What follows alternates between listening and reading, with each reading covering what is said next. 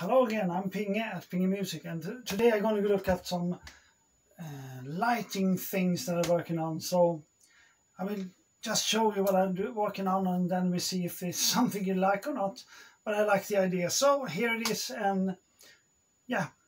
Yeah, so there you see a LED list. Uh, I will put that on another thing that I will show you later. Uh, and the idea is that with this and one more, I will can change the colors on the backdrop and so on just by choosing color on the LEDs and also by doing like the stand I want to do I can put this LED list around so I can change where from the whoa, where the light come from. So I can change it there and I can change more light and I can put it on the wall there just to make something else.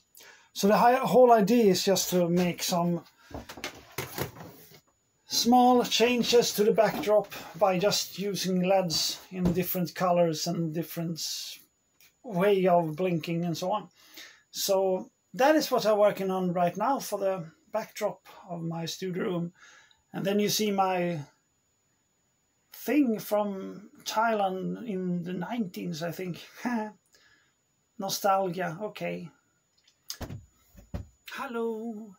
And there we have the list I was talking about just going to go do some paint job on, on this so it gets white and looking great so I can almost stealth it so nothing will be seen.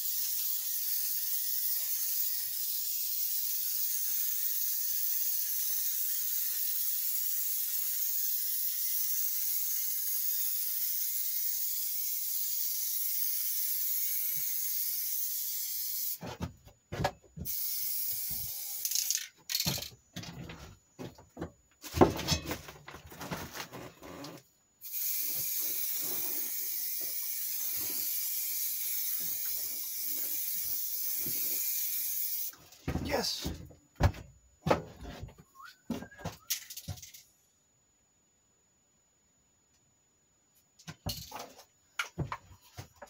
And don't forget to put it upside down and spray out all the paint because if you don't you will get work to do because it will dry in the spray thing. So don't do that. It's a bad thing. I know done it too many times Anyway, there was the thing I will put the LEDs on. So I will put one up there and one down there and then we, we can change the light to everything I want or at least to many things I want. So that's what, what I'm been working on in my studio. So this was a little update from the studio. So to the next time, be safe and be skillful. Bye bye.